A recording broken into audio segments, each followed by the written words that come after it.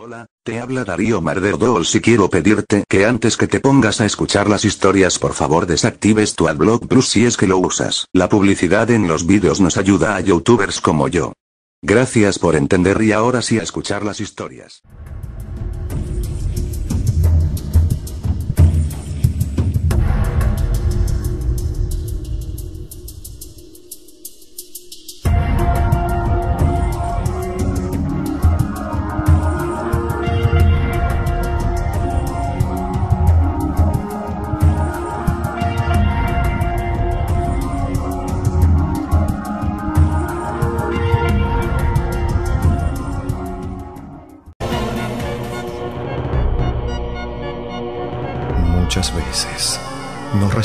A escuchar lo que nos causa miedo. Pero la intriga por conocer lo oculto es mucho más grande. Historias, cuentos y relatos que dan escalofrío.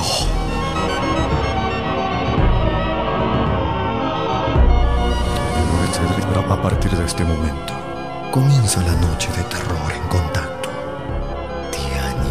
¿Te animas a escuchar?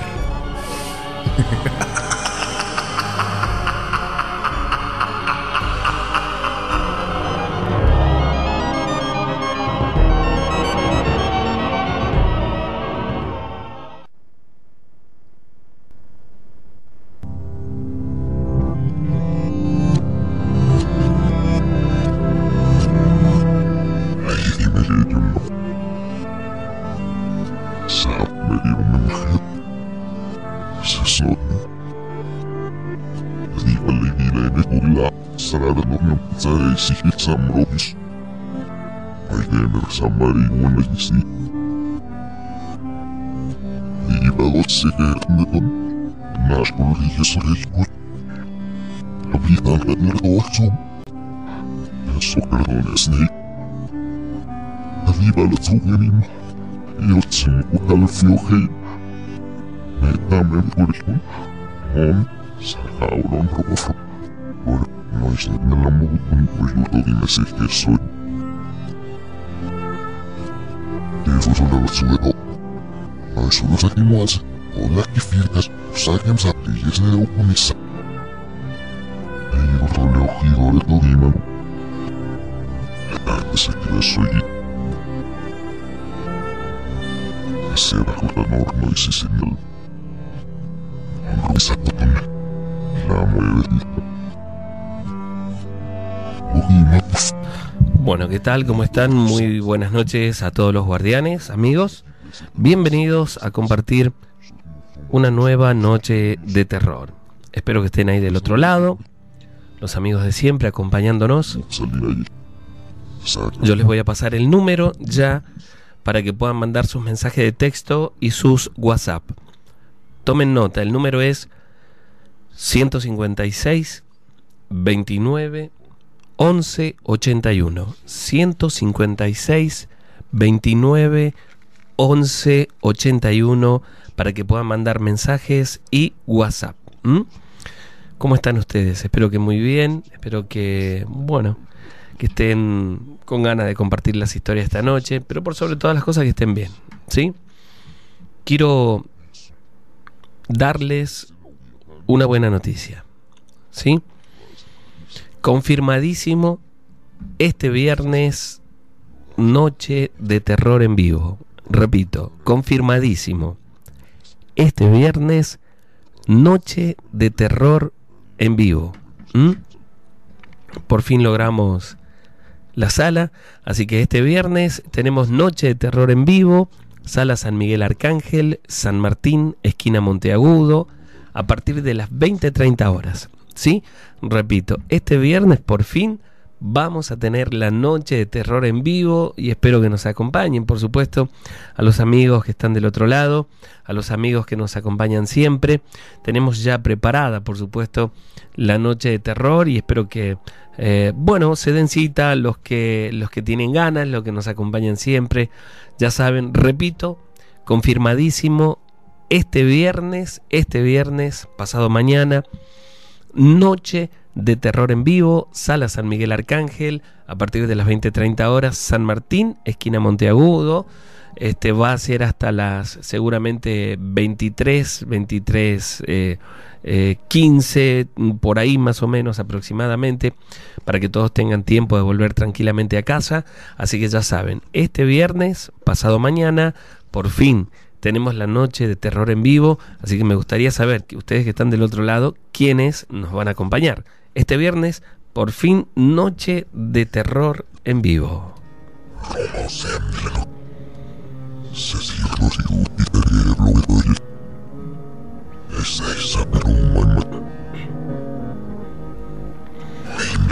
Bueno, ahí estábamos escuchando en el arranque, en el inicio del programa, esta historia que, bueno, yo siempre se los digo, ¿no? La, sabemos que la han escuchado anteriormente, con seguridad, porque estos son unos, audios que tenemos de hace algún tiempo, pero que los utilizamos más que nada como referencia, ¿sí? Eh, y lo que sucede es que nos han contado una historia que, mm, bueno, tiene algunos rasgos parecidos a los de esta historia que hemos escuchado recién. Y la historia es esta.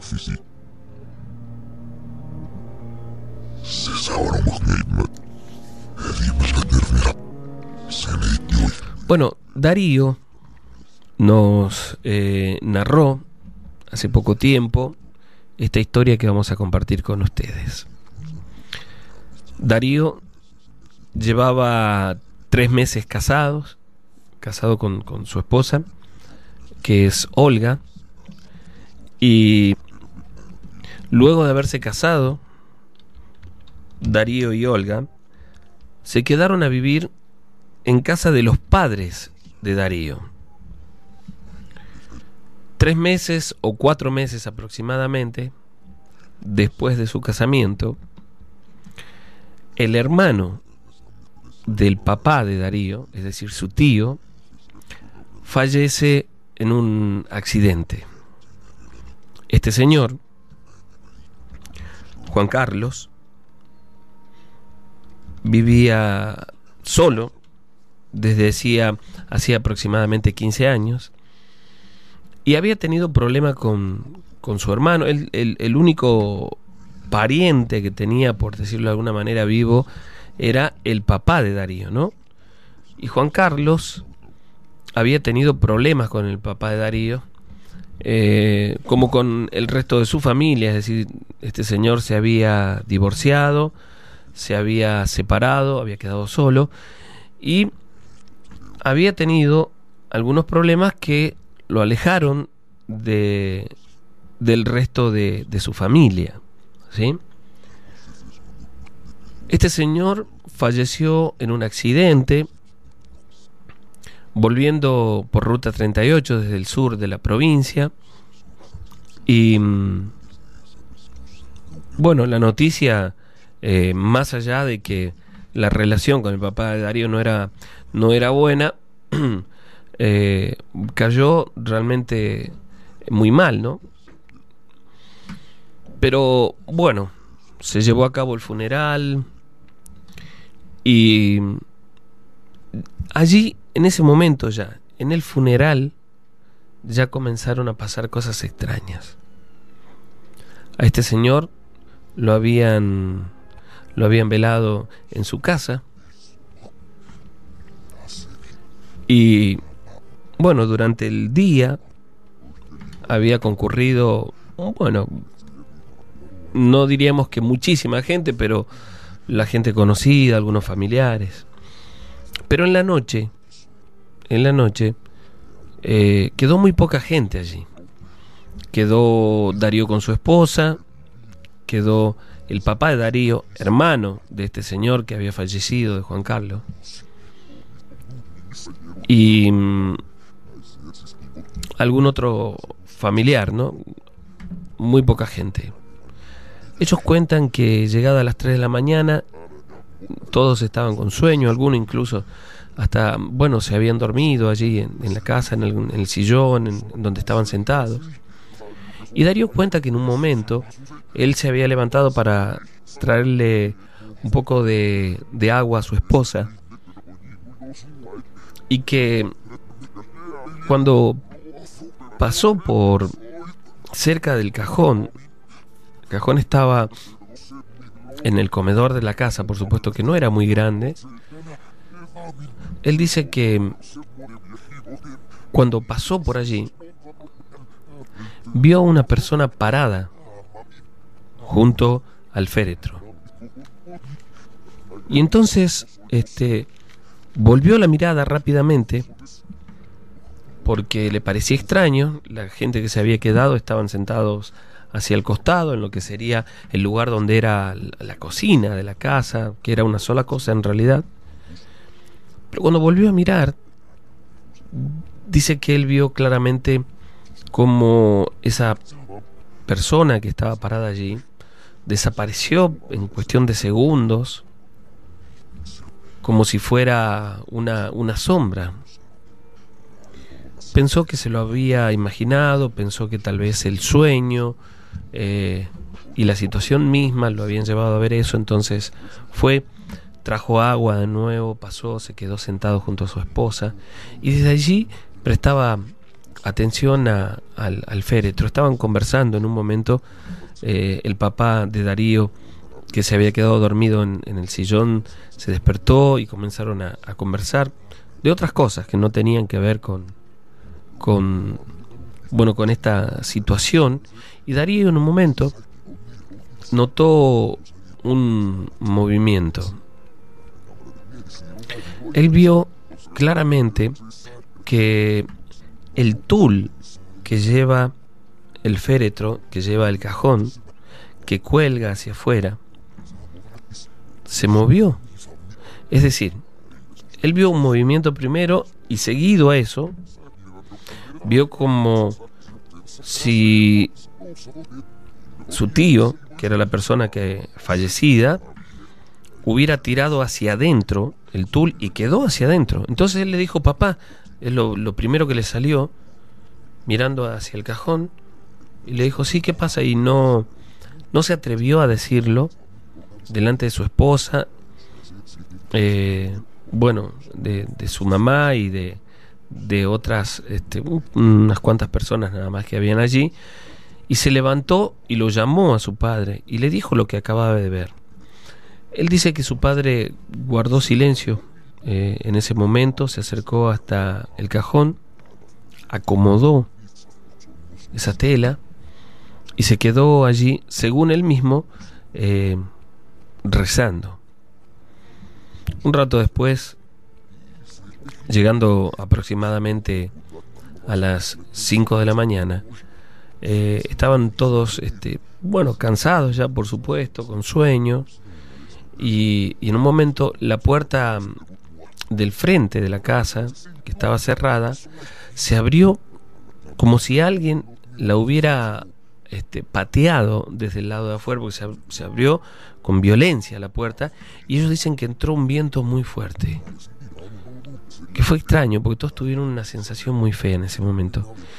Y, y dicen que en ese, en ese, en ese mismo instante, ellos vieron como si desde afuera hubiera entrado humo, pero era eh, un humo espeso de un color oscuro que se disipó en, cuestión de segundos en torno al, féretro, ¿no?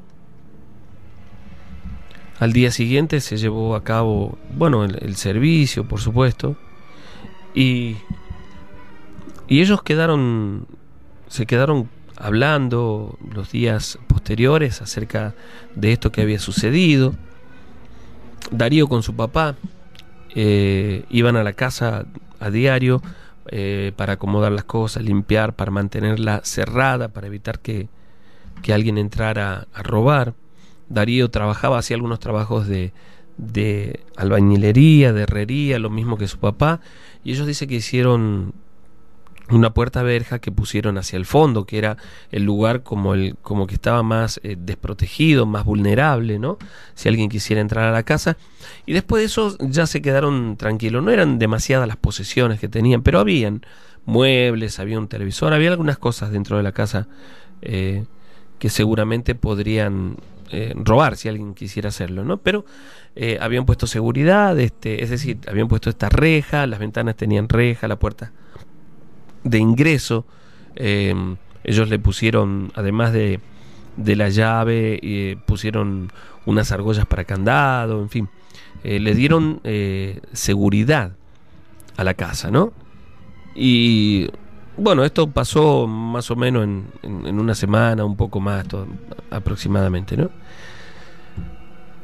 Darío tenía la idea de, mudarse a vivir esta casa y se lo comentó a su padre.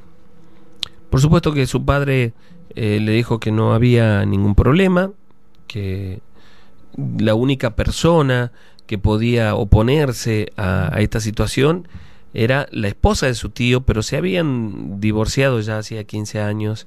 Esta mujer, em, bueno, vino por un momento, ella estaba viviendo en, en, Mendoza, se fue a vivir a Mendoza, y además este, esta casa, este, este, bueno, este, este lugar pertenecía a la familia, así que ellos eran los, únicos herederos, ¿no? Bueno, comenzaron a acarrear algunas cosas y al cabo de más o menos un mes, un poquito más tal vez, un mes y medio del fallecimiento del tío de Darío, Darío y su esposa se mudan a esta casa. Darío trabajaba en turnos rotativos que podían ser a la mañana, a la tarde y a la noche. Cuando trabajaba por la noche, salía aproximadamente a las 5 de la mañana, 6 de la mañana, en ese horario, salía y recién estaba volviendo a su casa. Se mudaron a esta casa y mm, ya a los dos o tres días de estar allí, eh, les tocó vivir la primera situación paranormal. Ellos cuentan que se habían acostado a dormir que tenían el televisor prendido, que estaban viendo, eh, bueno, alguna cosa allí en, la tele, y que en un momento escucharon un, un sonido. Eh, bueno, como no conocían muy bien la casa, Darío se levantó, prendió la luz del comedor y fue hacia eh, la parte del fondo que tenía como una pequeña galería cerrada, ¿no? Y dice que estando allí, prendió la luz, miró, dejó la luz encendida del fondo, no había nada, y cuando se dio vuelta para volver a la habitación, él dice que sintió como si alguien le hubiera tocado el cabello de atrás, es decir, en, en la zona de la nuca, como si le hubiera pasado la mano muy suavemente por el cabello y eso le generó un escalofrío tremendo. Él eh, apuró eh, su paso y se dio vuelta, llegando a la habitación, y él asegura que vio apenas por unos, unas décimas de segundo la silueta de, de una persona que caminó hacia el costado y bueno, ya desapareció, no, no lo pudo ver, se quedó pensando por momentos si, si no lo había imaginado, pero había sentido miedo y además eso de que le hubieran tocado el, cabello lo sintió claramente. Volvió a la habitación sin decir absolutamente nada. Eh, su esposa le preguntó y dijo, no, no, no había nada, prendí la luz del fondo. Y mm, aquella noche le costó dormirse, su esposa se durmió y a él le costó un poco dormirse, ¿no? Eh, cuando ya estaban dormidos, eh, sintieron un ruido dentro de la habitación que los despertó. Darío cuenta que a sus dos zapatillas, las que se había sacado, por supuesto, para, para acostarse, las tiraron contra la pared a las dos. Primero a una, luego a la otra. Y que cuando ellos se despertaron por el ruido, Em, la puerta que daba hacia el pasillo de la casa, la puerta de la habitación, estaba abierta, se cerró sola.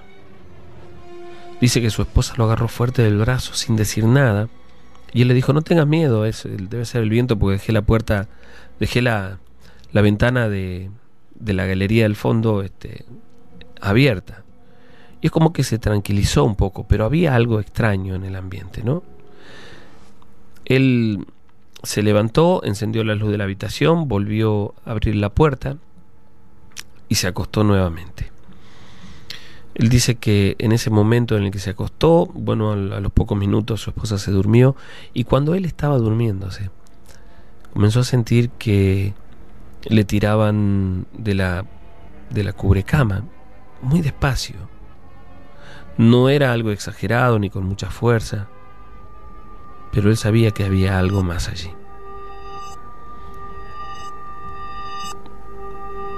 Aquello fue una o dos veces y luego, bueno, ahí dejó de pasar, se durmió, pasaron unos días y ella le comentaba, es decir, la, esposa, ¿no? Darío Olga le comentaba que esa, semana en la que él, a él le tocó trabajar la siesta, le comentó en una oportunidad que ella se había acostado para descansar un poco, para dormir la siesta.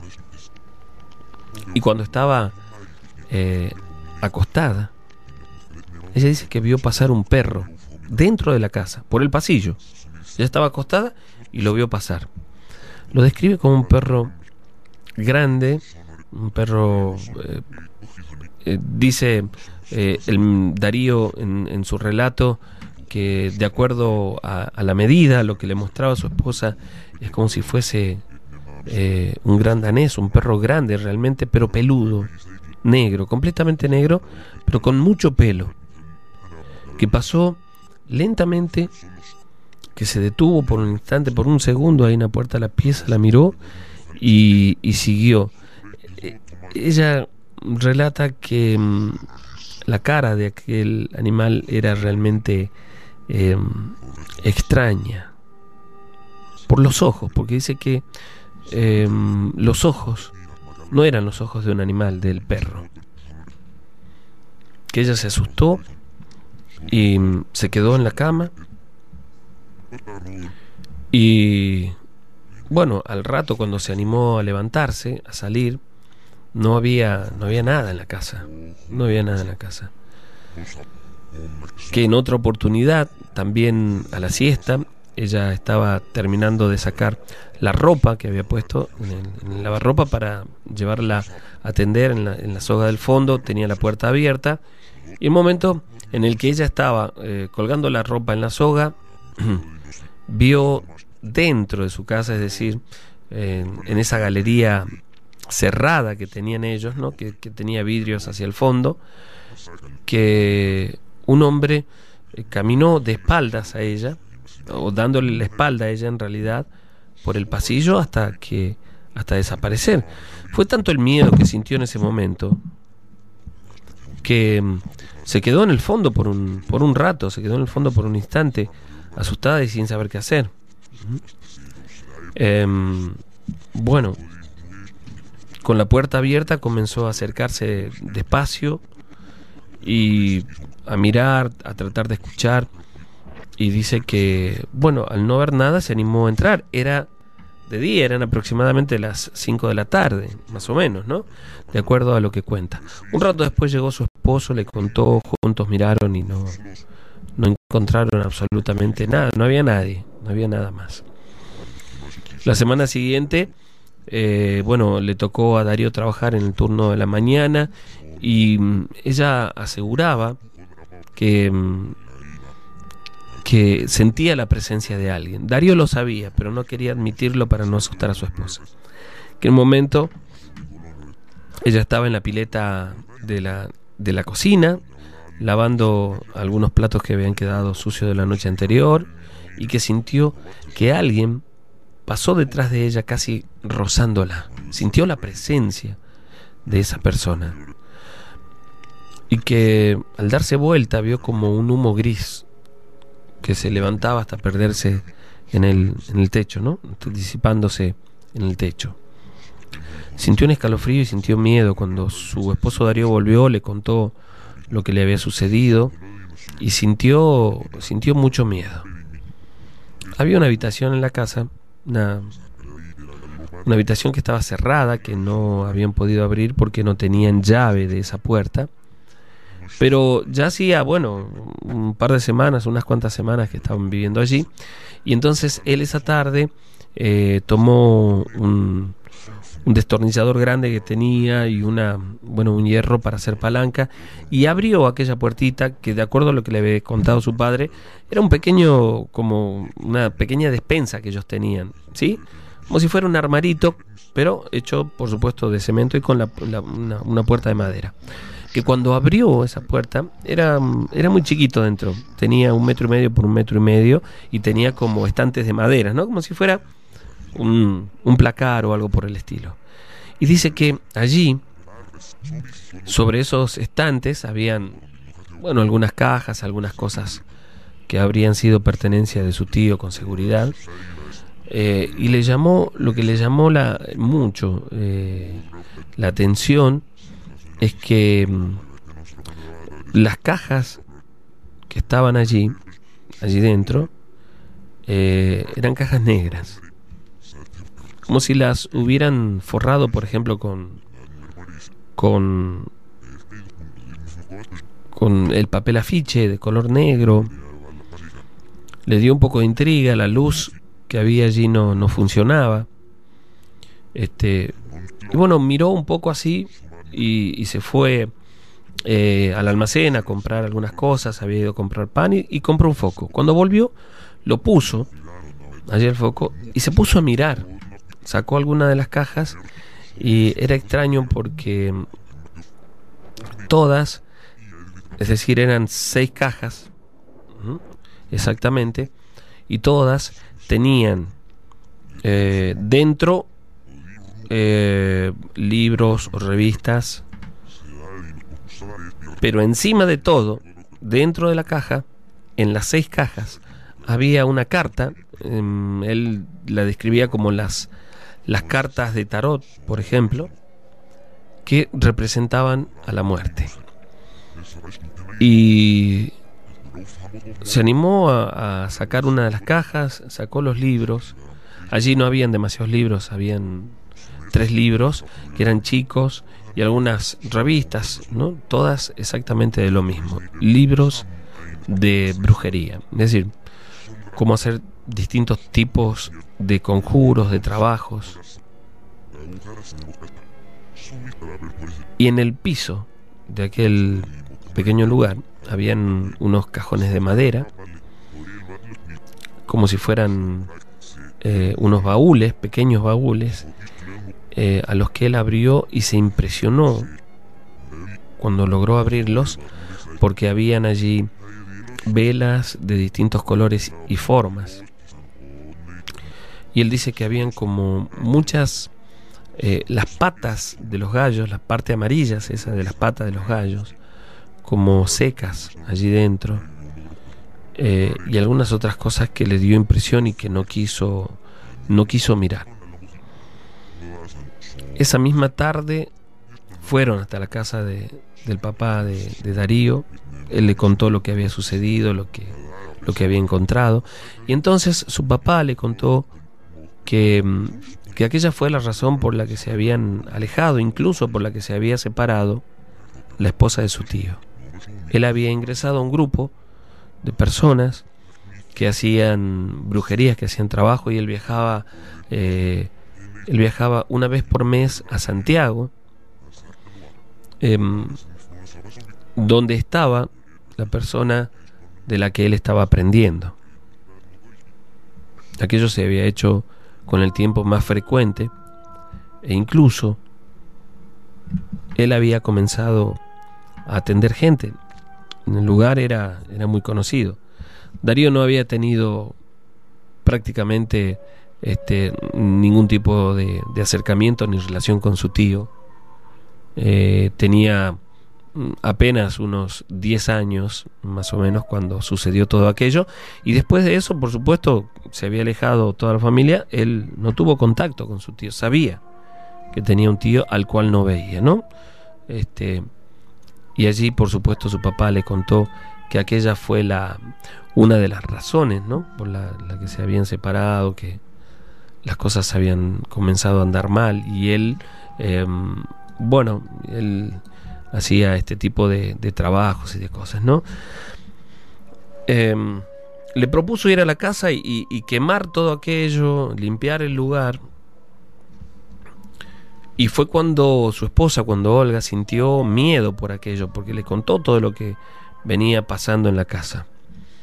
Esa noche, Darío, e, ese día, perdón, Darío junto a su papá, pero más que nada él, eh, sacó todas las cajas al fondo y sin mirar el contenido de la mayoría, que todos eran como papeles escritos, como revistas y, algunas otras cosas más, em, hacia el fondo de la propiedad hizo como un, bueno, un pequeño agujero con la pala y quemó todo allí en ese lugar. Lo quemó junto a su papá, Llegó la noche, se quedaron a comer allí, su papá, su mamá se quedaron a comer con ellos. Y, y bueno, este, aquella noche, después de que se fueron sus padres, él cuenta que, que durante toda la noche allí se sintió como, como un lamento, se escuchaba un lamento eh, en el fondo de la casa, como si alguien se quejara, como si alguien estuviera llorando. Y por supuesto que, que ellos, o él, más que nada Darío sabía que se trataba, pero su esposa estaba con, con miedo, ¿no? Estaba con miedo ante esta situación, ante lo que estaba ocurriendo en ese momento. Escuchaban también como si alguien caminara por la casa. Ella tenía mucho miedo, quería, quería irse pero él le decía que se quede tranquilo, que estaba todo bien.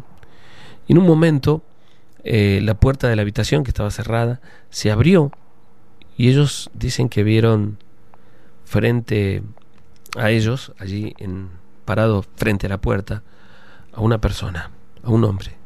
Vieron la silueta claramente de un hombre. Él le asegura a Darío que no se trataba de su tío, porque decía que era una persona mucho más alta, y, y dice también que veía claramente que era se trataba de un hombre, pero que tenía el pelo largo. Que él al ver esto y a su esposa asustada, comenzó a insultarlo, que es algo que como muchos había escuchado ya en, en alguna oportunidad, que cuando ocurría este tipo de cosas había que insultarlo y correrlo.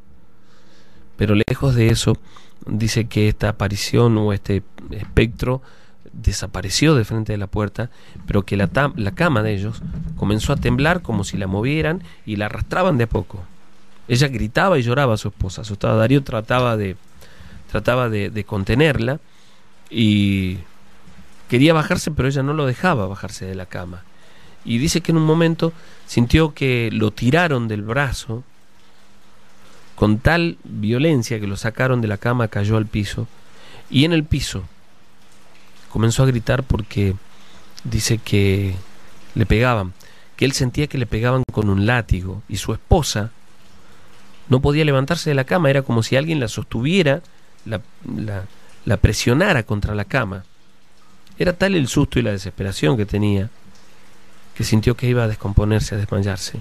Y, y por supuesto, y Darío, que gritaba, que trataba de en lo que podía, porque dice que ni siquiera la voz le salía, y sentía que le pegaban, y él asegura que veía frente a él a un hombre desnudo, pero con la piel curtida, como si fuese la de una persona eh, muy vieja, eh, y que el rostro de aquella mm, persona era alargado, parecía ser el de un animal, pero que los ojos, él se acuerda muy bien, tenía los ojos grandes y con un brillo eh, que parecía eh, una brasa, según él mismo dice, y que comenzó a, reírse.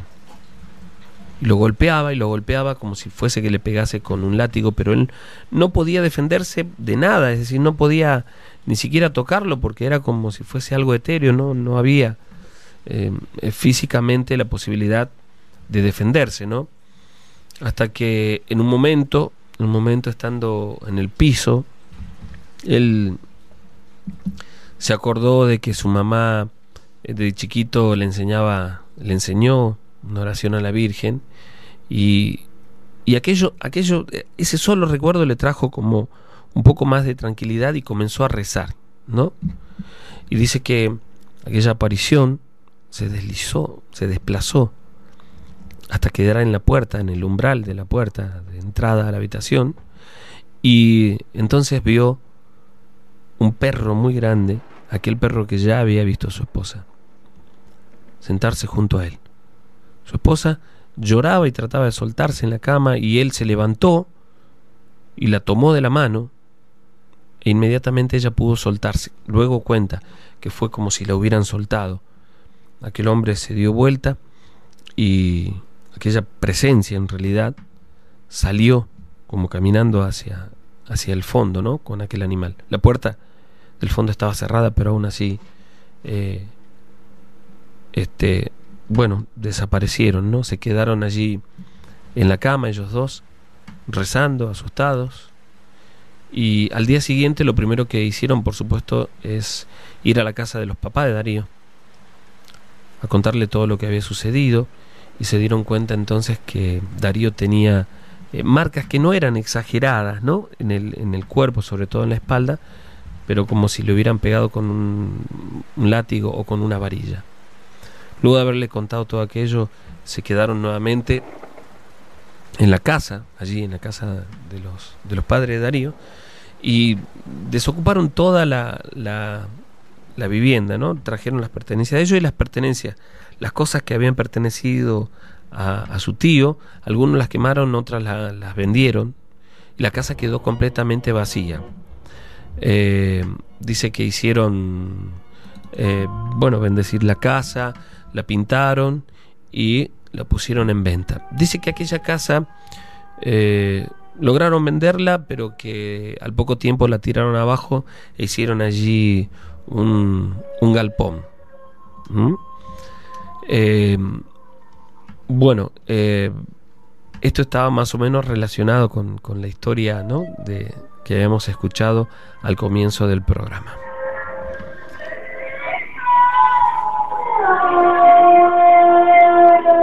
Bueno, a ver, quiero contarles nuevamente la buena noticia, por supuesto, de saber que nos han confirmado la sala para este viernes, para pasado mañana. Es decir, tenemos noche de terror en vivo pasado mañana. Mm, ya saben, confirmadísimo, pasado mañana, noche de terror en vivo. Y ahora sí, yo les pido a ustedes, por supuesto que están del otro lado, que nos acompañen, que vayan, y que podamos demostrarle, este, bueno, a esta gente que que tenemos eh, también nuestra audiencia gente que nos, nos sigue, nos acompaña, eh, que es algo que ellos en algún momento pusieron en duda, ¿no?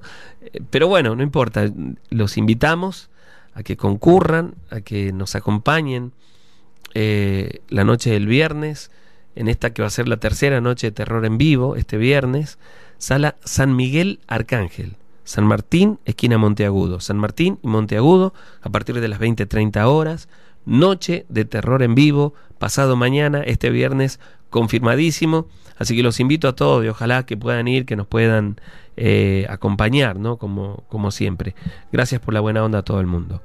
Maxi dice, pasen historia del cementerio del norte. Eh, saludos para Tiago y a la familia Reynoso. Un saludo enorme. Sergio, hola, dice, ¿cómo estás? Un saludo grande eh, para Nicolás, que nos escucha siempre. Muchísimas gracias por la, por la buena onda. Saludos también para... Hola, dice, soy Mauro, siempre dice... Mm, eh, los escucho todos los miércoles, ¿eh? junto a mi mamá y a mi hermano. Muy buena la radio. Muchísimas gracias. Saludos, dice, ¿dónde puedo ver? hola, soy Miguel Palacios, tengo mi historia que me pasó a mí y a mis amigos en el Cadillal cuando fuimos a pescar. Eh, ¿Te la puedo mandar por WhatsApp? Claro que sí. Espero que, me mandes tu historia. Sí, sí, sí. Dice, mm, hola Sergio, por supuesto que vamos a estar allí acompañándote y apoyando al programa. Muchísimas gracias, de verdad. Beso grande para Estela. Hola, eh, también manda saludos para Maxi, que hoy es su cumple, y a mi tía Carmen. Gracias, un saludo enorme. Guardián, soy Pepe Cerrizuela. Fiel a tu programa como todos los miércoles, un amigo de la zona de la Guadita me contó que allí hay una casa con, mucha actividad paranormal. Se pasaron muchas familias por esa vivienda, por ese lugar, y todos terminan yéndose porque pasan cosas realmente muy malas, ¿no? Eh, y esto ocurre siempre que llega la noche. Voy a averiguar bien para contarte todo. Muy bien, espero que, me cuentes eh, pronto. Amigos, está muy piola la radio. Manda un saludo a los locos de eh, las maquinitas. Dice que son Ramiro y Emanuel. Em, pasa historias de el enanito de la banda. Soy Nahuel. Un saludo enorme. me envías un saludo para mí, a mi hermana Paula Romero. Soy Joaquín Romero, fiel oyente desde hace tres años. Un saludo enorme. Un beso grande para Sandra también, que me escribió tempranito. Muchísimas gracias. Guardián acá con mi mujer cocinando y escuchando muy buenas las historias. La familia Gambarte. Eh, bueno, un abrazo enorme para ustedes. Gracias por estar allí. Hola, Ser. Por supuesto que vamos a estar acompañándote. Dice, soy Mica y mis amigas de Yerba Buena, allí presentes el día viernes en la noche de terror en vivo. Gracias. Capo, muy buena la radio. Seguí así, soy Quique de Villalén manda un saludo a mi hermano Carlitos que está escuchando el programa.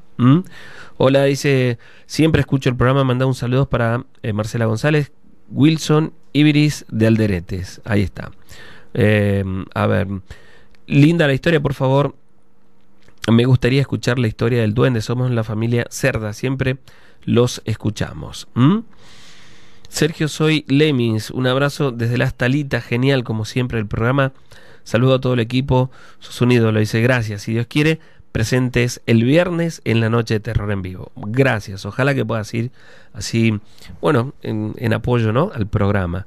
Guardián, soy Facundo, muy bueno el programa como siempre, manda un saludo a Lautaro que está eh, con mucho miedo y aguante Britney, dice. Bueno, saludos para ustedes. Guardián, soy Rocío, quisiera que pasen alguna historia del Cerro San Javier y que pasen saludos para mi papá Jorge, a mi mamá y a mi hermana Erika y a mi hermanito Mauricio. Gracias.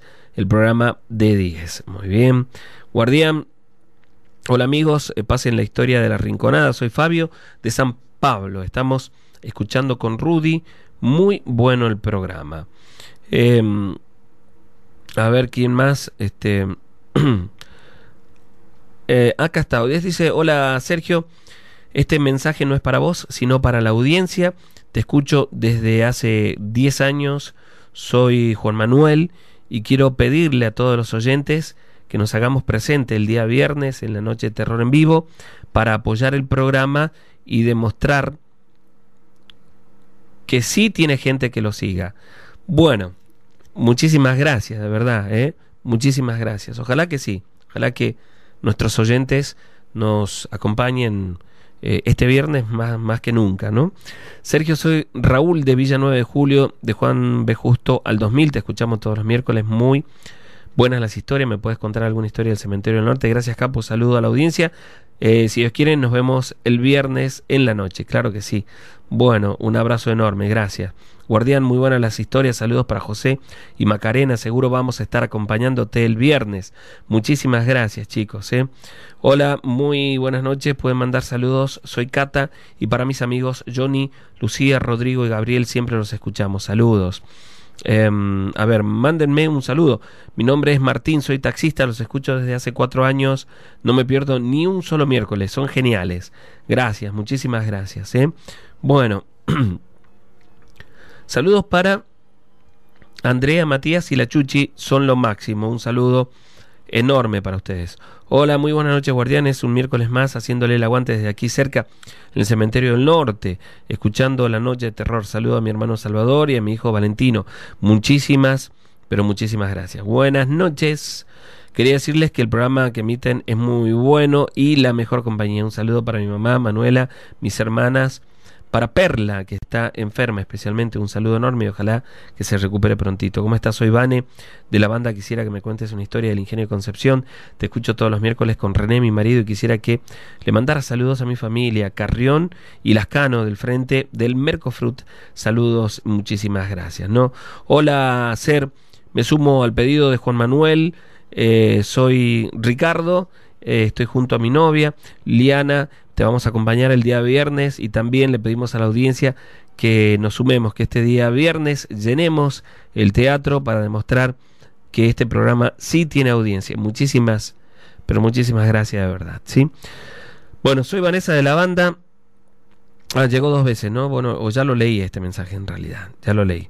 Capo, quiero mandar un saludo a mi novia Judith, soy Gabriel de Los Aguirres. Hola Sergio, soy Nahuel y por supuesto que te voy a estar acompañando el día viernes, te escucho desde hace siete años, ¿cómo no estar allí el viernes? Muchísimas gracias. Sergio, soy Ezequiel, como siempre haciéndote el aguante de la radio está de mil. Saludos a los chicos de el CIP, turno tarde. Eh, y para mis amores, Nayara, Leila, muchísimas gracias. ¿Mm? Hola compañeros, dice, me llamo Lucas, muy bueno el programa, como siempre, espero eh, ya el viernes para la noche de terror y disfrutar de las historias. Por favor, manden saludos a mi novia María Nieva de Villa Malia, que seguro está escuchando como cada miércoles. Un saludo enorme, muchísimas gracias, guardián. Soy Marcelo Barriento de la Escuela de Comercio 3, sigan con la buena onda de siempre, están buenísimas las historias. Quisiera mandar un saludo a mis tíos Jonathan, Carolina, y que seguro están escuchando. ¿eh? Quisiera otro saludito a mi primo Emiliano que también está con mucho miedo. ¿eh? Soy Marcelo del barrio San Miguel. Un saludo enorme para ustedes, guardián. Eh, mandá saludo a mi novio Luis, que lo está escuchando, muy bueno el programa siempre. Eh, estoy aquí escuchándolo. Soy de Villa Carmela, un saludo enorme. La radio muy buena. Sergio, hola, ¿cómo está? Quisiera mandar un saludo a mis amigos del cole y a mis primos que están escuchando muy, pero muy piola la radio. Un, abrazo enorme. Sergio, eh, amigo, muy buenas noches. Dice la radio excelente. Eh, ¿Cuánto estará la entrada? Soy eh, Rafa, dice, para el día viernes. Yo, la entrada creo que eh, va a estar nada más que a 20 pesos, me parece. Sí. Hola, soy Joel. Pasen la historia del 101, que es gratuito. O, cómo es la cosa. Gracias, dice. Bueno, no entendí muy bien esto, ¿no? Mi nombre es Erika. Cada miércoles los escucho, como siempre, aquí junto a ustedes, ¿no? Siempre escuchando la radio, dice, hola, soy Anaí del Manantial. Muchísimas gracias. Eh, vamos a ver quién más. Soy Jessica, dice, de 10, la radio todos los miércoles te escuchamos. Manda un saludo a mi madre que se llama Ana María y a mi hija Tiziana que tiene un poquito de miedo. A Alexis, después de estas historias no creo que quiera dormir. Saludos, dice ¿eh? Jessica de Yerba Buena. Muy bien.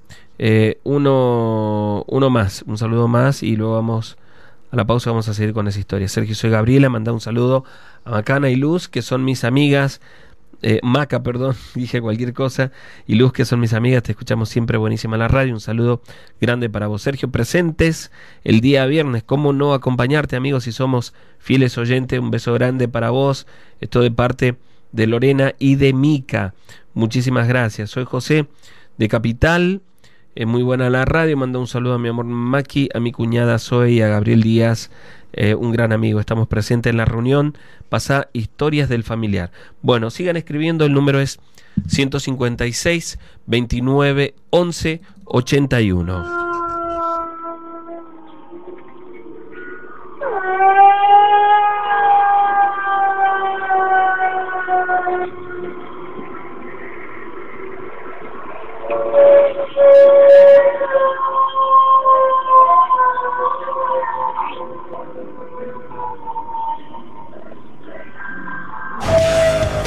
No comía, prácticamente no comía, lo poco que comía, lo vomitaba. Al llegar la noche, otra vez nos quedamos despierta hasta que ella se durmió, esta vez en la habitación de mi mamá. Cuando ella se durmió, me quedé un rato con mi mamá, me dijo, anda acostate, descansa un poco. Y yo me fui a acostar. No recuerdo bien qué hora eran, pero yo creo que eran cerca de la una de la mañana. Y de pronto me desperté con un grito tremendo de mi hermana. Cuando corrí a la habitación de mi mamá, al entrar, recuerdo que mi hermana estaba contra la pared y decía constantemente que los corramos. Mi mamá estaba sentada en la cama porque se había quedado dormida también. Y le decía, hija, ¿qué te pasa? ¿Qué te pasa? Y decía, córralo, córralo, que se vayan, que se vayan. Nosotros le preguntábamos a quién, no hay nadie, y ella señalaba los rincones de la habitación y miraba realmente con muchísimo miedo, con mucho miedo. Mi mamá se levantó y le costó incluso acercarse, porque ella estaba nerviosa, tirando manotazos para todos lados. Y yo me animé también a ayudarla. Y la sacamos de ahí. Yo recuerdo aquella sensación. Hermana decía, ahí están, ahí están, y señalaba un rincón de la habitación. Y a mí me corría un frío por la espalda. Al salir de la habitación, la puerta se cerró sola, pero muy fuerte, y escuchamos risas de mujeres dentro de la pieza de mi mamá. ¿Cómo explicarles lo que sentí en ese momento? Jamás había tenido tanto miedo. No sentía las piernas. Me asusté mucho. No sabía si lo había imaginado, si era real. La cuestión es que mi mamá me miró y sin decir nada. Nos fuimos hasta mi habitación. La cuestión es que esa noche mi hermana se quedó allí en mi pieza, ¿no? Con mi mamá. Al día siguiente me contó que, bueno, yo me quedé dormida eh, en un colchón al lado de la cama y ella en la cama con mi mamá ahí prácticamente sentada toda la noche y dijo que estuvo toda la noche muy inquieta, como si estuviera con pesadilla, lo mismo que venía ocurriendo en esos días, ¿no? Conversando con mi mamá al día siguiente, sobre lo que había pasado, ella estaba cerca de nosotros. Intentaba, por ejemplo, recuerdo que esa mañana intentó desayunar, le habíamos hecho el mate cocido, mi mamá intentaba ayudarla para que tomase el mate cocido, tomaba un poco y luego lo vomitaba. Bueno, ya habíamos ido a buscar los análisis y no tenía nada. Conversando con mi mamá sobre lo que había pasado esa mañana, eh, recordamos las risas que habíamos escuchado. Y mi mamá me dijo que ella también la había escuchado. ¿Qué hacemos, mamá? Yo no sé qué hacer, tengo mucho miedo, le dije. Y ella me contó que tenía una amiga eh, del hermano de ella, es decir, de mi tío, que mm, él era, mm, perdón, la hermana de mi mamá, es decir, mi tía, tenía un amigo que era pastor de una congregación y que ella le iba a pedir que lo llevara a la casa. Nosotras no éramos eh, no, creyentes sino practicantes porque creíamos en Dios, creemos en Dios. Y en mi casa habían Biblias y pero no éramos demasiado practicantes de la, de la religión hasta ese momento. La cuestión es que hasta que se pudo dar con aquella persona, con este pastor, pasaron unos días, ¿no? Y cada vez que llegaba la, la noche, mi mamá, asustada, lo mismo que yo, no sabíamos, no sabíamos qué hacer. Habíamos hablado, mi mamá sobre todo, con parte de la familia contándole lo que sucedía. La cuestión es que este bueno, en un momento recuerdo que una de esas noches ya se había dormido ella y se durmió mi mamá. Estaba muy cansada, pobrecita, todo ese tiempo. Hacía varios días que no descansaba bien. Pero esa noche yo creo que por el cansancio más que nada se quedó dormida. Yo me había quedado estudiando y sentí miedo cuando mi mamá se durmió. Pero me quedé despierta, las luces estaban prendidas. Al poco tiempo, o en los minutos de que se durmió mi mamá, algo me llamó la atención. Yo veía por debajo de la puerta de mi habitación la sombra de alguien que pasaba de un lado al otro varias veces. Pensé que tal vez eh, sería mi mamá que se había levantado, qué sé yo.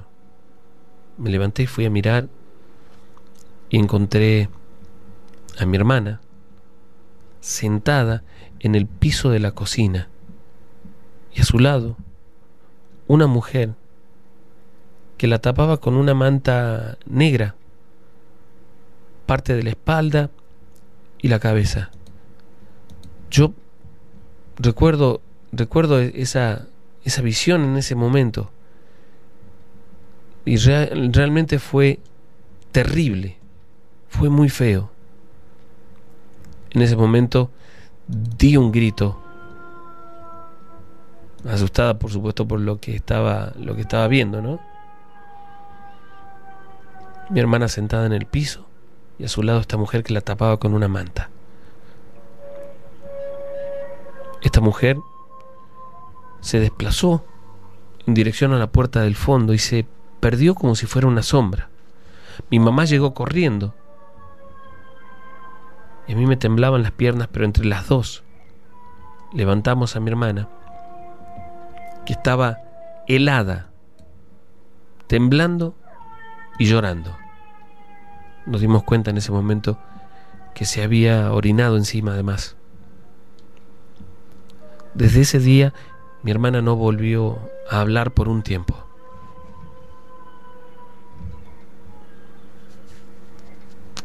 Ella perdió mucho peso, estaba pálida, estaba muy enferma y yo tuve en un momento la sensación, tuve la idea de que la perderíamos. La tarde del viernes de esa semana, por fin fue a mi casa aquel pastor del que les había contado. Y después de hablar un rato con nosotras, de conversar un poco con nosotras sobre las situaciones, sobre lo que estaba pasando, él nos dijo que, que en la casa había como una energía fuerte, ¿no? Como que había algo. Luego nos pidió que nos dejara, que la dejáramos, lo dejáramos solo con ella en la habitación. Creo que estuvo como una hora hablándole y nosotros escuchábamos porque la puerta estaba abierta.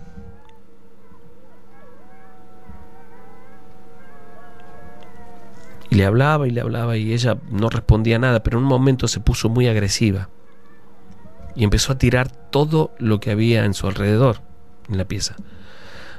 Recuerdo que mi mamá fue la primera en entrar y, yo fui detrás de ella y apenas pudimos eh, pararla entre mi mamá, yo, mi tío que había ido y este pastor. Ella estaba desconocida. Mm, yo la miraba y no parecía ser aquel su rostro. Era como si fuese otra persona hacía unos ruidos extraños como gruñidos, y de solo estar se descompuso, se desvaneció y cayó al piso. La, la llevamos a, a su cama y aquel pastor nos dijo que algo malo le estaba pasando, algo muy malo, que iba a hablar con otra gente de su congregación para tratar de ayudarla. Esa noche recuerdo que ocurrió algo realmente muy feo. Cuando ya se habían dormido, yo le dije a mi mamá que me quedaría con mi hermana en su habitación, así que llevé una reposera, la puse a, su lado y me quedé leyendo, ¿no? Algunas cosas que tenía que estudiar, pero me quedé leyendo nada más. Pero el sueño me venció y en un momento me, me dormí. La luz de la habitación estaba mm, apagada y de repente sentí que alguien me tapó la boca y me agarró los pies. No podía moverme ni gritar, casi no podía respirar. La puerta de la habitación estaba abierta y había luz en el pasillo, pero la, la habitación misma tenía la luz apagada. Aún así, vi con esa vislumbre que entraba a la habitación dos mujeres que se acercaron a la cama de mi hermana, una de cada lado, y que le pegaban a mi hermano que estaba en la cama. Ella se quejaba, pero no podía defenderse. Y allí volví a escuchar aquellas risas. Aquellas mujeres, estas brujas, estaban con ropas em, oscuras como si fueran tules. Fue aterrador. Yo creo que duró apenas segundos aquella visión. Pero no lo soportaba. No podía moverme y apenas respirar. No podía creer lo que veía. Estas mujeres pasaban de un lado al otro de la cama, por encima de ella, como si fueran no sé, como si fuera humo. Por momentos eran como sombras. De pronto sentí que, que me soltaron y vi como aquellas imágenes se desvanecían. Y me levanté y cuando estaba por prender la luz, mi mamá entraba a la habitación. Mi mamá dijo que ella había escuchado ruidos, que se vino a verme o a vernos a las dos, porque había escuchado ruidos en la habitación. Prendió la luz y mi hermana estaba en su cama, tapada de tierra. Había en la habitación un olor nauseabundo. Mi hermana lloraba, pero como si estuviese perdida. Y recuerdo que estaba rasguñada los brazos. La llevamos al baño, le quitamos la ropa.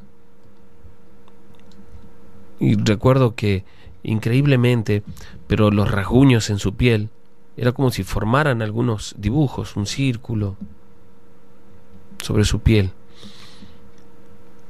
Aquella noche vi a mi mamá eh, muy cansada, eh, como abatida.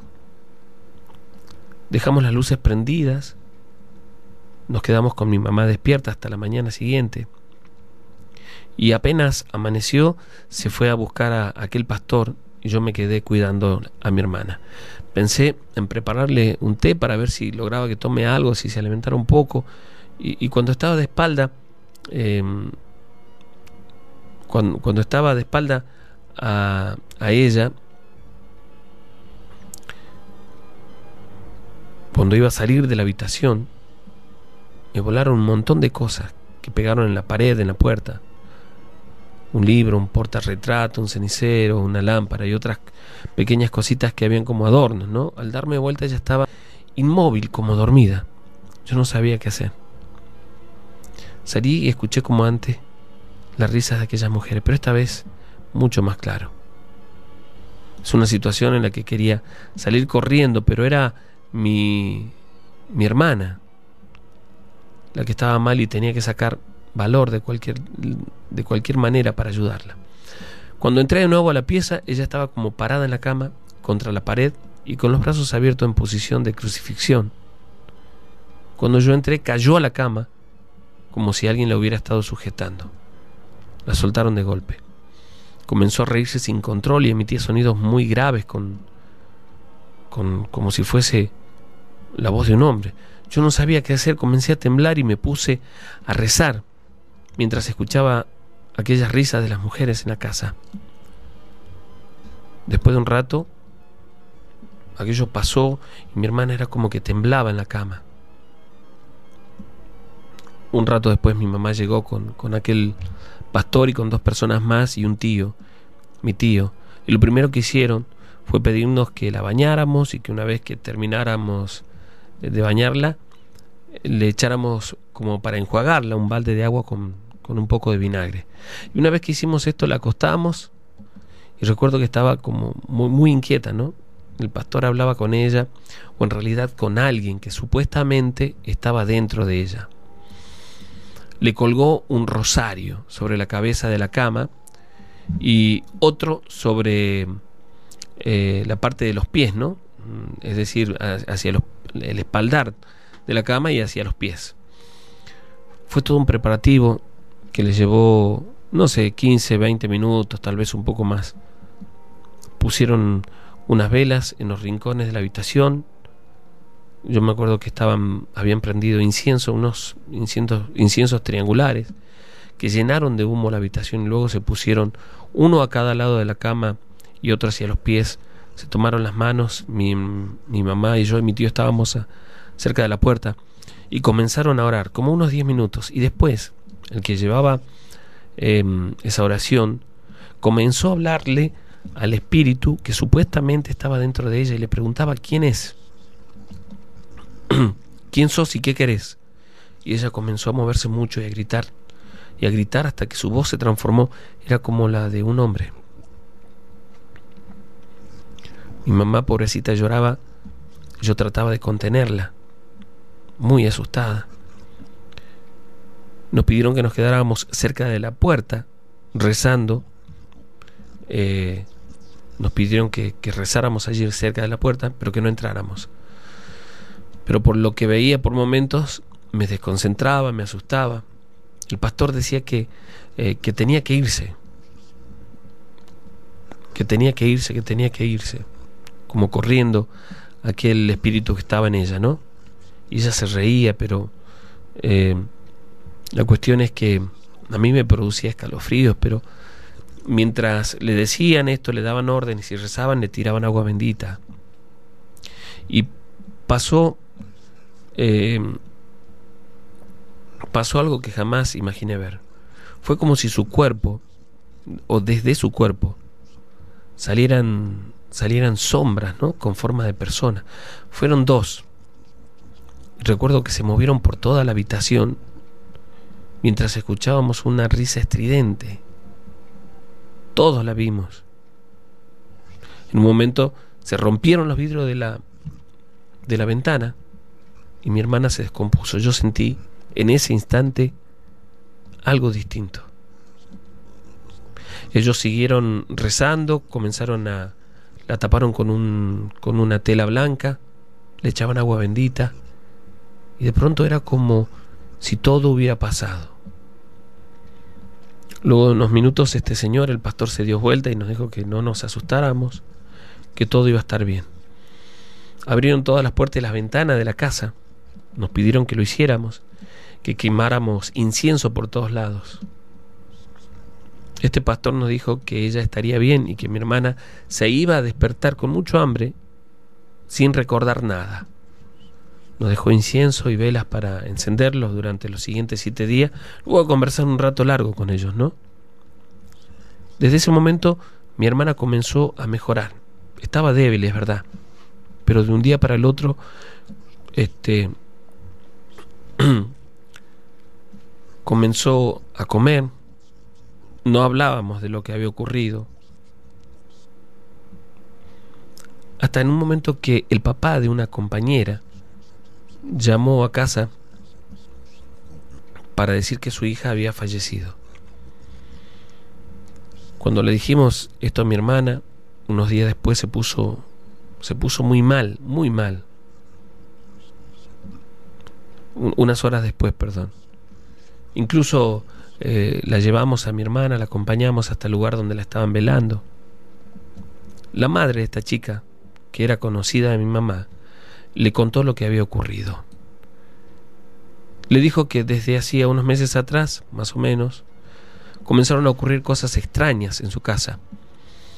Y que veían sombras, que escuchaban ruidos, y que Ana, que es la chica que había fallecido, se despertaba a veces en el fondo de la casa o en el baño, en distintos lugares ¿no? de la propiedad, con marcas en el cuerpo, como si las golpearan, y ellos pensaban que era ella misma quien se había hecho aquello, ¿no? Intentaron llevarla a un psicólogo, pero no, no lo hicieron. Y dijeron que los últimos días casi no dormían porque eh, era como si la estuvieran atormentando. Ella decía que eran espíritus, decía que, que no la dejaban tranquila. Y ellos no sabían más qué hacer, la llevaban al médico, que no logró encontrar nada, porque no tenía nada. Dicen que la noche anterior a su muerte, ella estaba un poco más tranquila, pero casi no hablaba. El padre, durante la noche, escuchó ruido, se levantó y vio a alguien salir de la pieza de su hija. Era como una persona, pero que se desvaneció en el pasillo. Él se asustó no entendía lo que estaba viendo, lo que pasaba, entró para mirar cómo estaba su hija, la llamó y ella no respondió, se acercó a levantarla, pero la sintió muy fría, nunca pudo despertarla, ya estaba sin vida, la llevaron a, al hospital, no encontraron una causa aparente, solamente dijeron que había tenido un paro cardiorrespiratorio, bueno, en fin. Después de varias horas en el hospital y de la autopsia la llevaron para velarla, ¿no? Mi hermana se puso muy mal, imagínense. Y al llegar a, nuestra casa, se quedó en la pieza de mi mamá porque estaba con mucho miedo. Aquella noche casi no pudo dormir, estaba muy inquieta. Y al día siguiente la vimos muy mal y hablando con ella, comenzó a llorar, a llorar, a llorar y nos contó que esa noche que ella volvió de pasar el fin de semana con su amiga, con dos de sus amigas, habían hecho el juego de la copa. Y que cuando estaban haciéndolo se asustaron porque la copa de vidrio voló contra la pared y se rompió. Y cuando fueron a acostarse esa noche, no pudieron dormir porque veían dos mujeres al lado de la cama. Ellas, asustadas, salieron y se fueron a la casa de, de un vecino y se quedaron hasta que amaneció y fue cuando volvieron luego a casa, ¿no? Mi mamá comenzó a decirle, pero hija, comenzó a retarla, diciéndole que eso no tendría que haber hecho, que estaba muy mal. Mi hermana no paraba de llorar, mi mamá también y yo también. Gracias a Dios hacia la tarde la vi mucho mejor y después de comer a la noche se bañó, se acostó a dormir. A la mañana siguiente fui a despertarla para que desayune y la llamé varias veces. Como no salía, abrí la puerta de su habitación y no, no estaba. La busqué llamándola por la casa y vi la luz del baño encendida. Abrí la puerta y, y, la vi. Estaba allí. Se había quitado la vida, se colgó del techo del baño con un cable. Me descompuse. Quería llamar a mi mamá, pero no me salía la voz. Fue terrible. Apenas pude llegar hasta la hasta la habitación de mi madre, casi arrastrándome. Cuando mi mamá me vio, me preguntó qué pasó y ella le dije, corrió a verla, pero no había nada que, que hacer, ella ya estaba sin vida. Fue muy triste, muy feo. Los días siguientes, durante un mes, fue algo que no puedo explicar. Yo no podía dormir, no podía soportar el dolor. Lo mismo que mi mamá, que la veía sufrir tanto. Pensaba por momento que por su por haberse quitado la vida no descansaría en paz. Rezaba todo el tiempo. Y una noche mientras dormía, sentí algo y me di cuenta que alguien se había sentado en mi cama. Cuando me di vuelta y miré a los pies de la cama, la vi a ella, mi hermana, levantándose y salir de la habitación. Se paró justo en el umbral de la puerta. Y le vi una sonrisa tan amplia, tan linda, que fue como un mensaje para mí. Y salió. Aquello me dejó un poco más tranquila, sentí que ella estaba bien. Día después, una amiga mía que estaba viviendo en Salta vino a Tucumán y fue a visitarme porque supo lo que había pasado. Y nos sacamos una foto juntas. A la semana, ella volvió a mi casa y me dijo, este, tengo que, mostrarte algo. Y sacó de su bolsa una foto en la que estábamos las dos sentadas tomando unos mates en la cocina, de espaldas a la pieza que era de mi hermana, y ahí en la puerta, casi como una figura eh, traslúcida, se la ve a ella sonriente, su rostro y la sonrisa se ven bien. De la cintura o del cuello para abajo se va disipando hasta desaparecer. Con el paso del tiempo, de a poco, aquella imagen se fue borrando. Pero aún guardo esa foto conmigo. Esa misma noche, mi mamá también asegura que, que recibió la visita de mi hermana.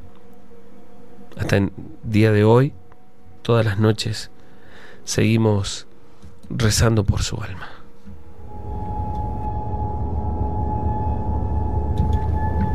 Bueno, gracias a toda la gente que nos está acompañando a través de los mensajes. Eh, bueno, muchísimas gracias, nos quedamos sin tiempo ya, pero voy a dejar ahí alguna historia sonando para el final, ¿no? Pero les recuerdo y les pido que compartan con sus amigos en el Face, ¿sí? Está confirmadísimo y espero que esta vez nos acompañen todos nuestros oyentes, ¿sí? A modo de apoyar el programa, ¿no? eh, este viernes, es decir, pasado mañana, noche de terror en vivo, sala San Miguel Arcángel, San Martín, esquina Monteagudo. Viernes mm, este, 18, pasado mañana, viernes, en, la sala está en la esquina de San Martín y esquina eh, y Monteagudo, en, las, en el Consejo Deliberante. Allí está la sala San Miguel Arcángel. A partir de las 8 de la noche, pasado mañana, vamos a disfrutar de la noche de terror en vivo. Vamos a disfrutar de historias, de videos, ¿sí? Así que están todos invitados y esperamos que nos acompañen, ¿sí? Bueno, muchísimas gracias a todos. No olviden, pasado mañana, confirmado, noche de terror en vivo. Para todas aquellas personas que se quedan pensando en la veracidad de estas historias, ¿no? Yo digo lo mismo de siempre. De la misma forma que existe el bien, también existe el mal. Y tal vez esta noche, cuando te envuelva el profundo silencio y la oscuridad de la noche, sientas que hay alguien más allí cerca tuyo. ¿Y por qué no? Son muchas las almas que vagan por el mundo y hoy podría tocarte a vos ser el protagonista de una de nuestras historias de terror. Y para aquellos que dicen, yo no creo porque nunca me pasó, yo les digo lo mismo de siempre y espero que ustedes repitan conmigo. No pasa hasta que te pasa. Los espero el viernes, guardianes.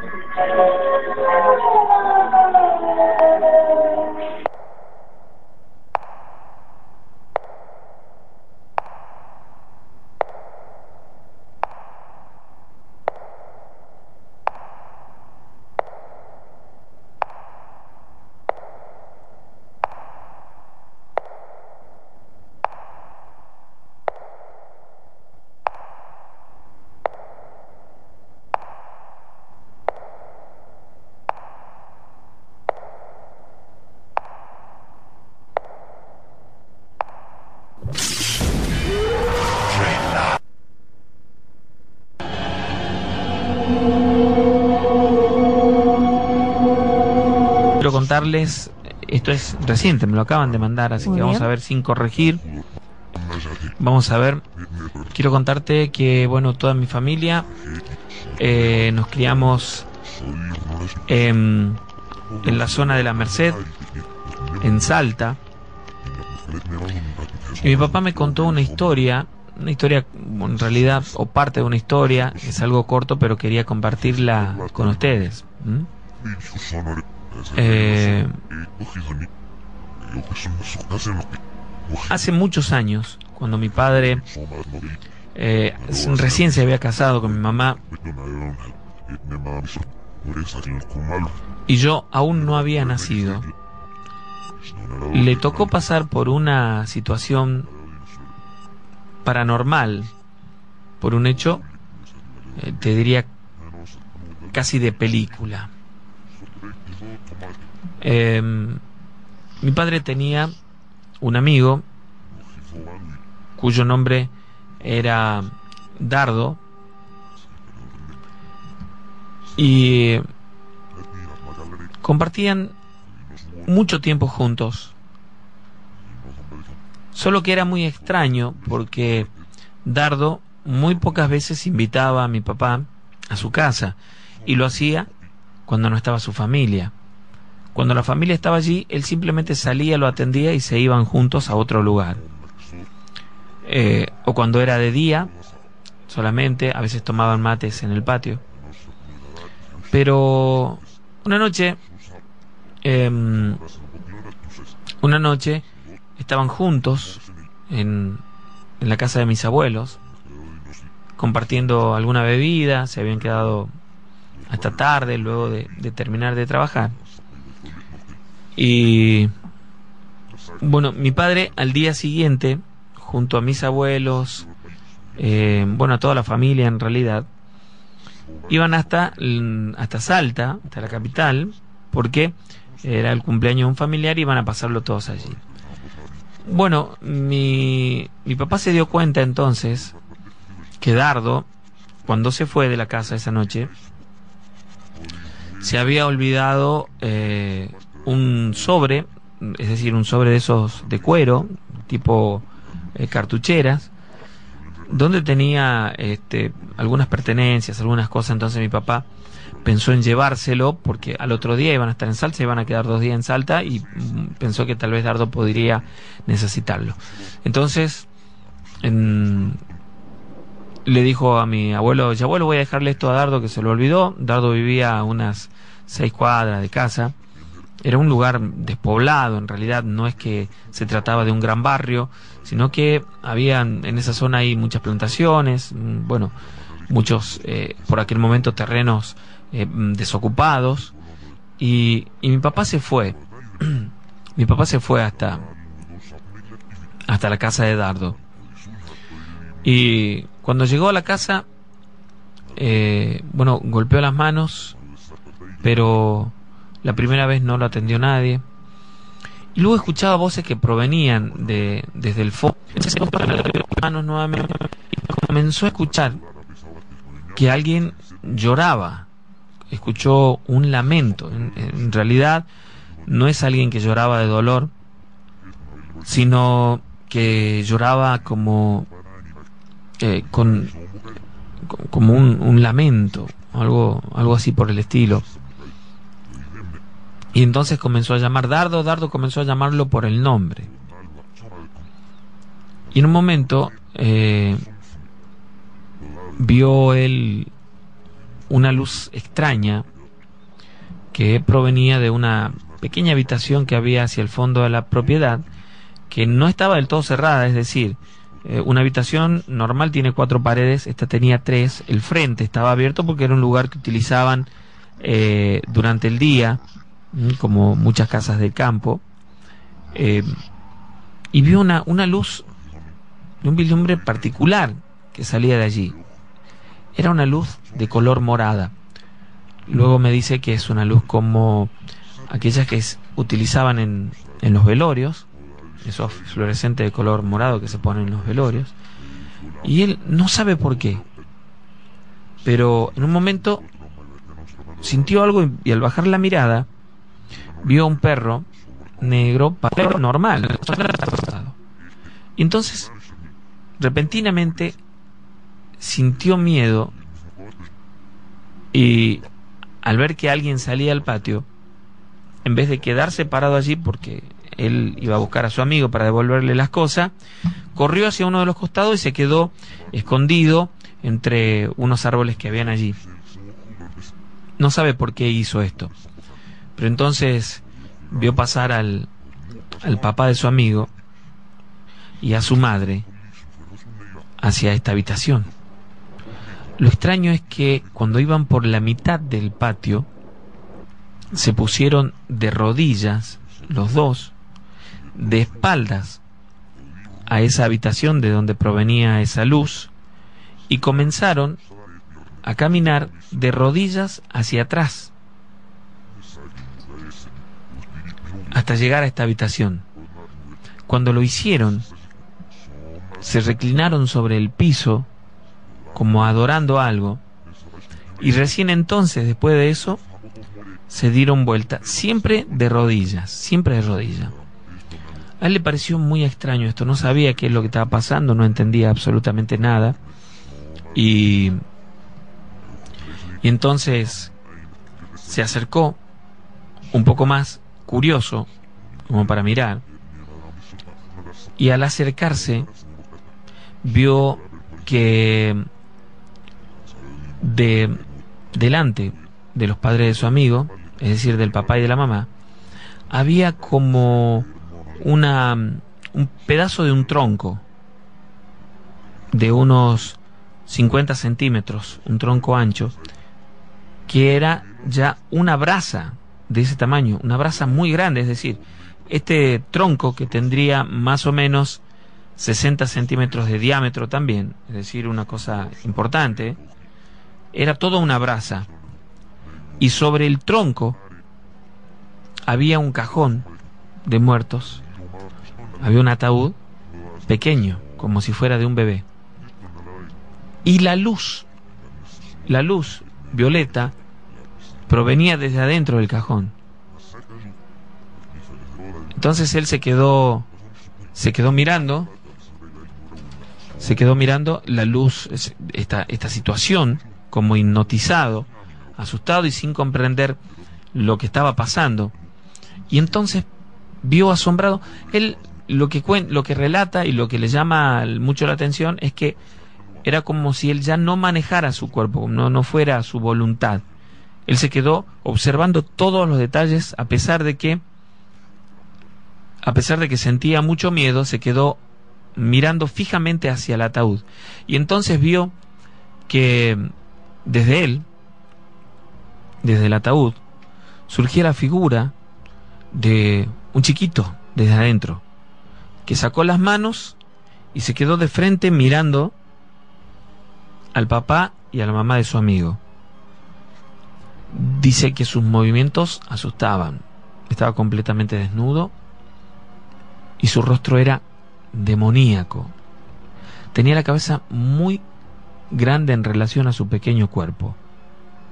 Pero luego se paró dentro del cajón y fue creciendo hasta quedar del tamaño de una persona normal, es decir, de un metro setenta, un poco más, completamente desnudo y con las patas como si fueran las de un animal, como una cabra, completamente desnudo.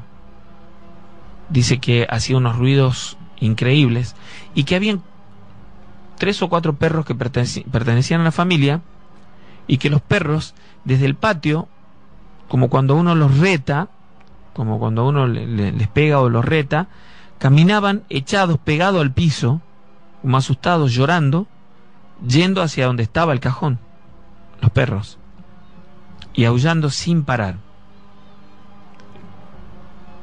Creo que eran tres o cuatro, no recuerdo muy bien.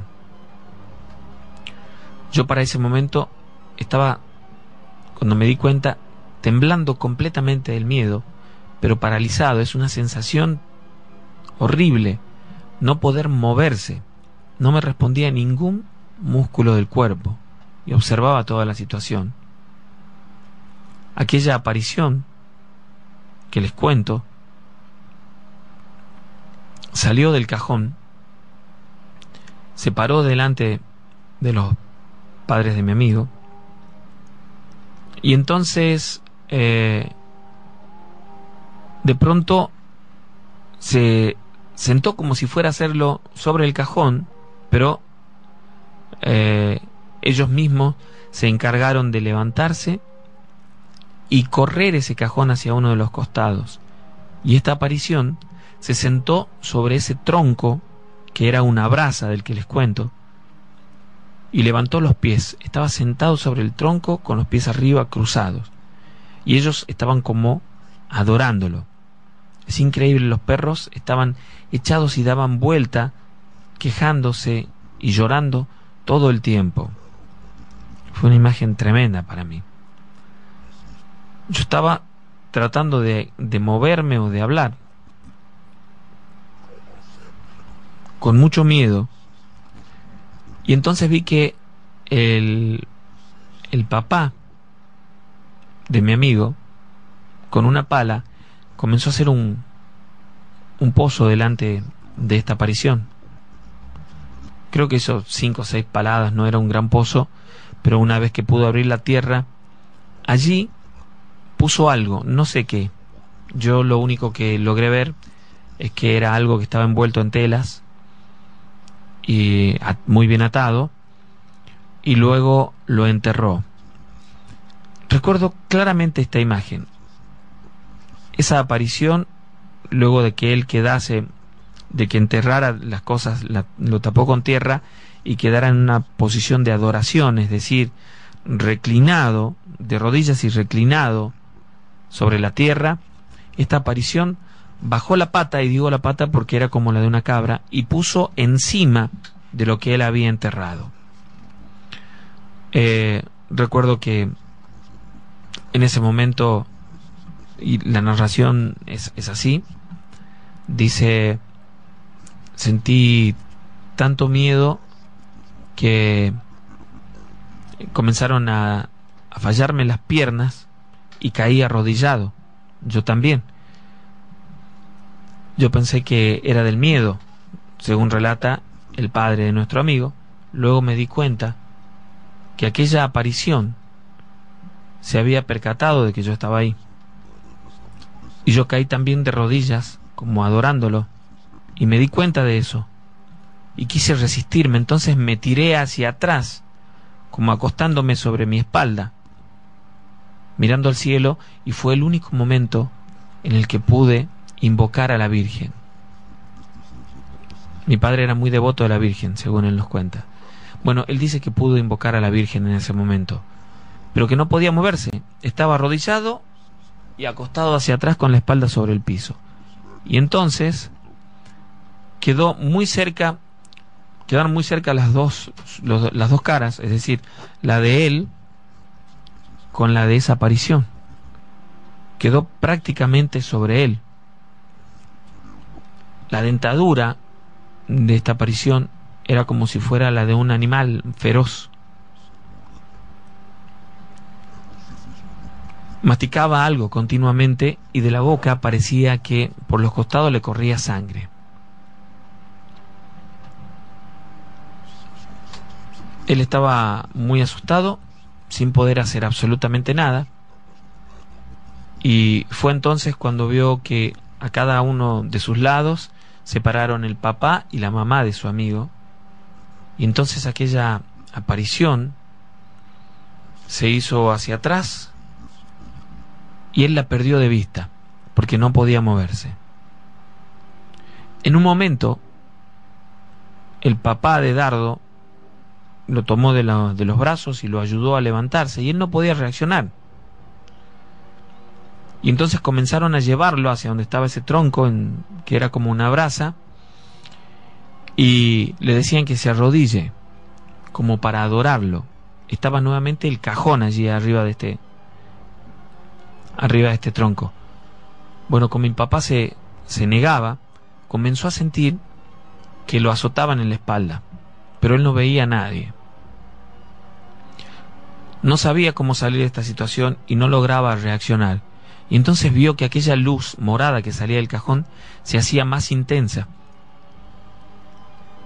La única reacción que tuvo mi padre en ese momento fue escupir hacia el cajón.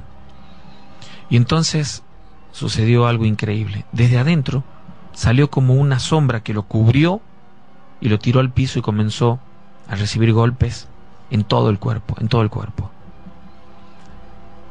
En un momento de un pequeño momento de lucidez que tuvo, volvió a invocar a la Virgen y fue como si dejaran de pegarle y entonces reaccionó y comenzó a pedirle a la Virgen que lo protegiera y a rezarle a la Virgen.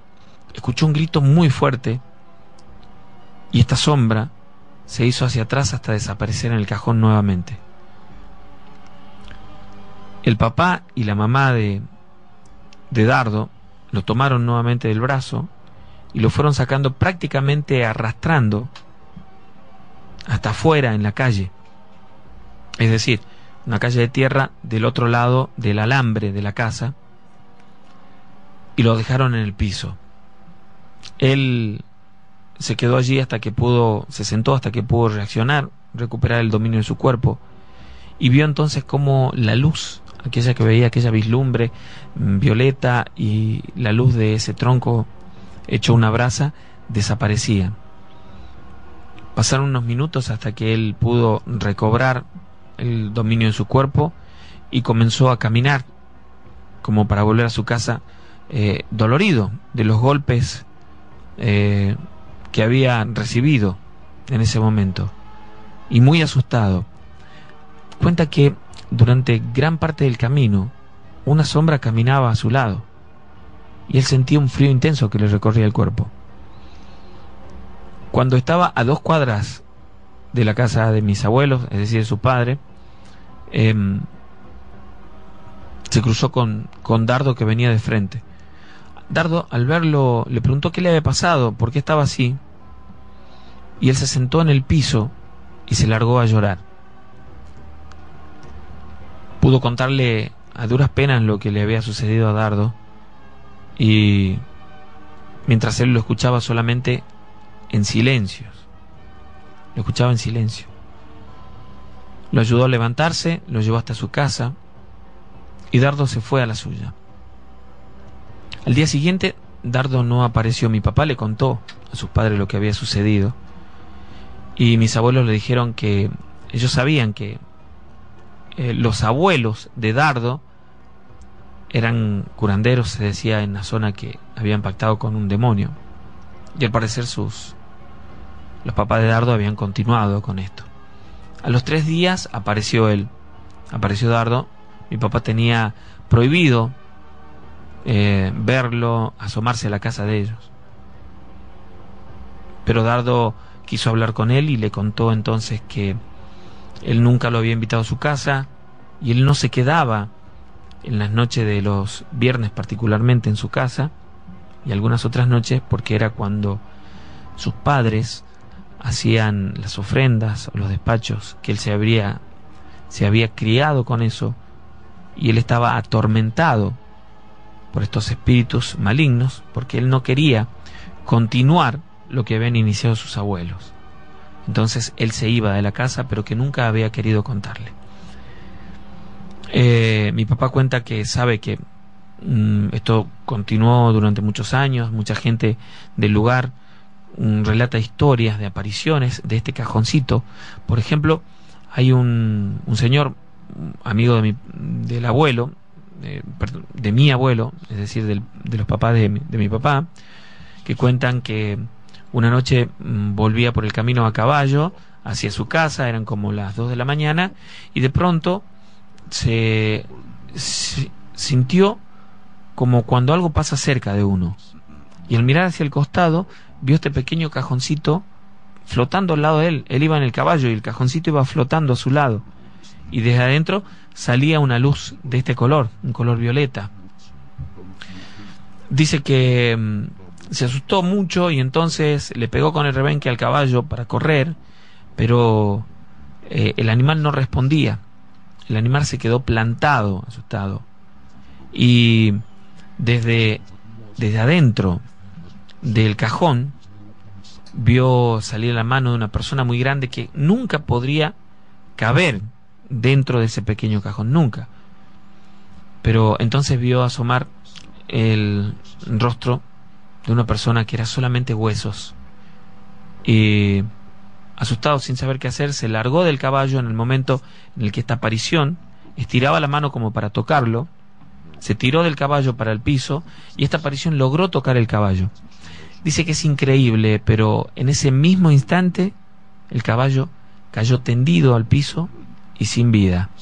Y a los pocos minutos cayó sobre él, sobre el amigo de mi padre, que no podía salir de abajo del animal, mientras veía cómo este cajón eh, se perdía en la oscuridad, viendo siempre la vislumbre de ese color violeta y como el animal eh, en cuestión de segundos quedó completamente eh, seco, sin vida.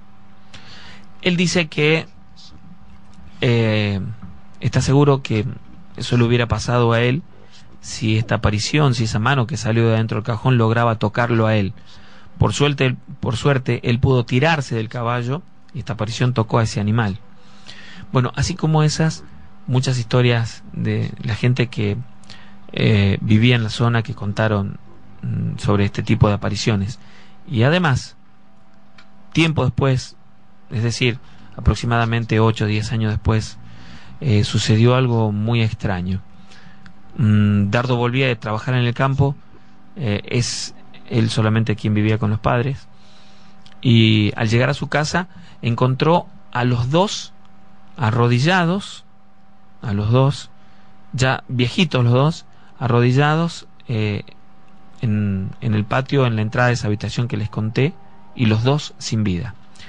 Cuando se le hicieron los exámenes y todo lo demás para definir cuál había sido la muerte, más allá de que Dardo lo sabía, pero la policía eh, había eh, pedido unos exámenes para determinar la razón de la muerte, los dos figuraron como eh, un, síncope.